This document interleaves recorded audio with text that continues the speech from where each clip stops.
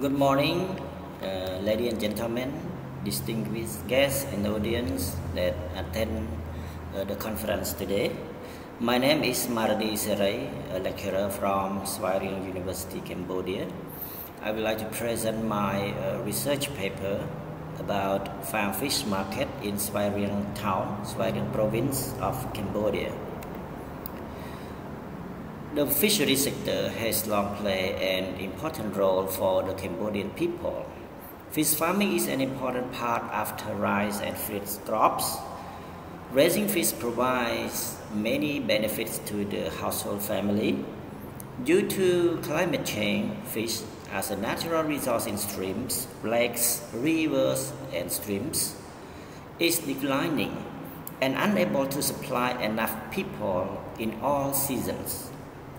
Therefore, in Svay Rieng province, there are also a large number of fish sellers and the sale of fish has helped some farmers reduce their living expenses. The study aims to understand the type and size of fish in Svay Rieng town, to understand the farm fish market chain in Svay Rieng town, and to analyze the economic efficiency of selling farm fish in Svay Rieng town of uh, Svay Rieng province. As the methodology, this study used a survey method.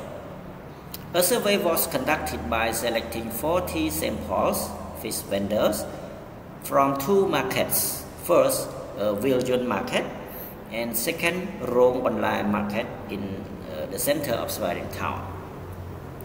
Face-to-face interviews were used to conduct the studies data collection uh, using questionnaires and the question answer sessions. The data were analyzed by using descriptive statistics, frequency, and percentage. We move to the result and discussion. First, uh, period of fish sales. In Cambodia, 61% of the population works as farmers. The result from the survey found that the period of fish sales is separated into four periods. First, less than 5 years, 10%. Second, between 5 to 15 years, 60%. Third, between 16 and 20 years, 17.5%. And fourth, over 20 years, 12.5%. Source of fish sold in the market. The result from the survey found that the imported fish and fish purchased from both inside and outside the province accounted for a comparable percentage of the fish that dealers offer in the market. We can see that it, there are 67.5% uh, of imported fish, there are 65% uh, of fish purchased from both inside and outside the province, and there are 10% only of the fish were taken from other sources. So these are the types of fish sold in the market. Uh, we can see that the Jan, Channa striata uh, uh, is the most popular one of fish type sold in the market followed by the Clarias macrocephalus, uh, Pangasius conchophilus, Pansius gorionotus, Clarias batrachus, Reptilapia, Pangasius larnaudii, and etc. So you can see uh, in the, the, figure, this figure, the types of fish sold in uh, Svay Rieng market. The total amount of fish that vendors buy and sell. Fish vendors acquire and sell fish in different quantity depending on the daily demand, and there are less and fewer merchants overall. According to the science price, the number of fish that vendors buy and sell each day is as follows. Under 20 kilo, there is 35%. Between 20 and 50 kilo, 45% and between 50 and 100 kilo 20%. Fish purchased in quantity by types of fish. So we can see that uh, most of the fish type uh, that uh, the vendor purchased the most is Clarias macrocephalus uh, and uh, Channa striata, uh, Pangasius conchophilus, and Pentheus gorionotus, and etc. You can see on the uh, figure. The weight of each types of fish sold in the market. So the results show that the weight of each type of fish sold in the market is divided into three parts, including the weight of fish under 500 gram. Uh, we can see that Channa striata is the most popular one, uh, 97.5 percent. Second type is the weight between 500 gram and 1 kilo is still Channa striata 90% and the third one is the weight over 1 kilos still Channa striata 32.5%.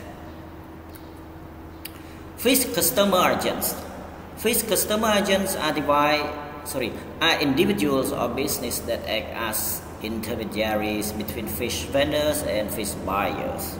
They may be responsible for finding buyers for fish, negotiating prices, and managing logistics. Before reaching the customer, the fish will pass through various agents such as fish collector, fish processors, wholesalers, retailers, or fish farmers. The result of this study showed that 100 of fish were sold to consumers. 70 point, uh, sorry, 75% of fish were sold to the processor and 22.5% were sold to retailers. Quantity of fish sold to each agent per day uh, in kilogram. The results show that 12.5% of less than 20 kilogram of fish weight, 7.5% of 20 to 30 kilogram of fish weight, and 2.5% of 30 to 50 kilogram of fish weight has been sold to retailers. Anyway, 35% of less than 20 kg of fish weight, 52% of 20 to 30 kg of fish weight, and 10% of 30 to 50 kg of fish weight has been sold to consumers.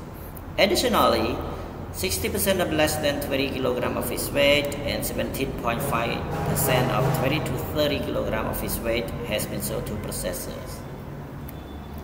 The volume of fish sales, the volume of fish sales here refers to the supply of vendors to consumer that is sufficient and appropriate in a timely manner. The results show that the daily demand of a seller, 85% is those who sell enough, 12% are not selling enough, and 3% is more than the needs of customers. The demand of farm fish in the present time, we can see that the current demand of farm fish is not stable because sometimes there is a high demand and sometimes it decreases depending on the actual situation. The results show that the demand situation for farm fish is slightly increasing, 45%, highly increasing, 8%, remaining the same, 35%, and slightly decreasing, 22%. So here is the economic efficiency of selling farm fish in Svay Rieng Town. So you can see uh, table 1, the average expenses vendor per day in both markets. So the amount of expenses is in uh, riels, Cambodian riel. So you can see that the total expense per month uh, is between uh, 15 million to 16.5 million riels. About the average income per day, although selling fish requires a lot of money, vendors can still earn from 1 million to 1 million point five riels per day from selling fish. This income is dependent on the cost of buying and selling fish.